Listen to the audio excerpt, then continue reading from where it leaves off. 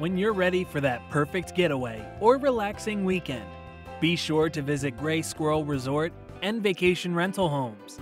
Nestled on the shores of Big Bear Lake, our friendly staff and comfortable accommodations will make this getaway one to remember.